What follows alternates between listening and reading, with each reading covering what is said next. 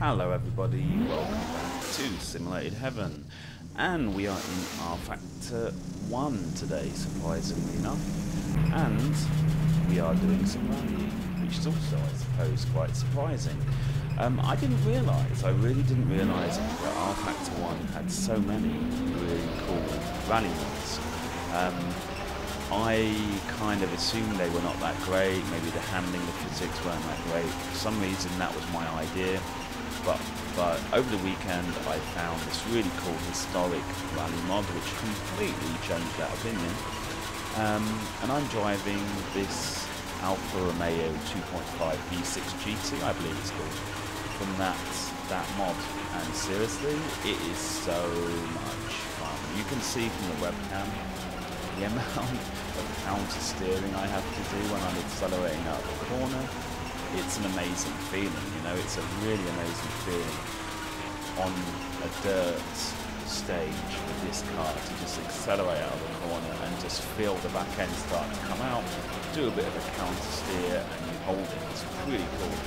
So yeah, the, the, the physics of the, the dirt handling seemed pretty cool, like pretty amazing. I was really surprised. Um, of course, this is not an absolutely amazing run here. I think this was after I've been practicing on this stage about 20 or 30 minutes, and I just had to make a video. I was having so much fun. I just had to kind of make a video and, and make you guys aware of this amazing mod for rFactor 1. The stage that I'm on, I believe is Serbia. I, I will of course put a couple of links in the description below so that you can access this stuff. But even the stage itself is really amazing. I mean, whoever whoever made this, it's really really detailed. The graphics look nice. Uh, the stage is challenging, but it's not kind of annoyingly so.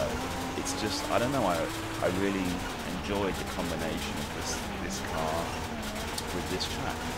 Um, and the historic rally mod that I am talking about, and I completely messed this one up by the way.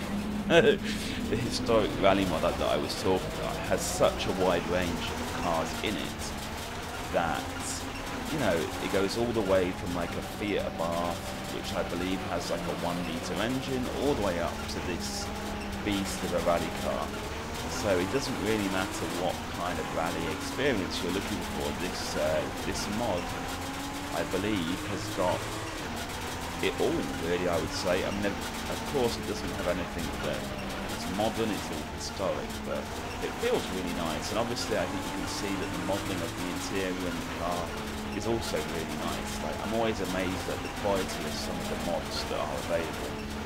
Consider it's a you know a free thing that you can download.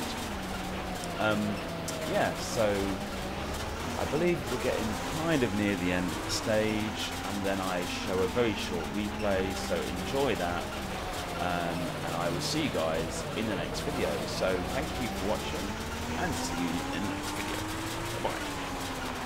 Bye. Alright, that was a 3, 17.67.